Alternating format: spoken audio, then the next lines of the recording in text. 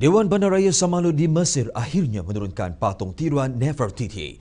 Patung tersebut dilihat lebih mirip dengan raksasa Frankenstein berbanding seorang ratu yang cantik.